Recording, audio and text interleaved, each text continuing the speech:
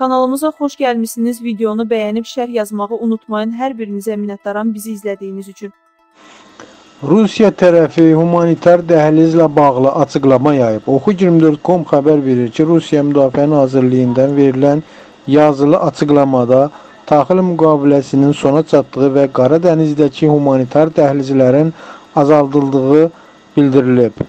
Bu çərçivədə Rusiyanın Ukrayna limanlarına gedən gəmilərlə bağlı verdiyi qərar 20 iyul 2023-cü il saat 00:00-dan etibarən Qara dənizdən Ukrayna limanlarına gedən bütün gəmilər potensial hərbi yük daşıyıcı kimi qəbul ediləcək deyə bəyanatda qeyd edilib.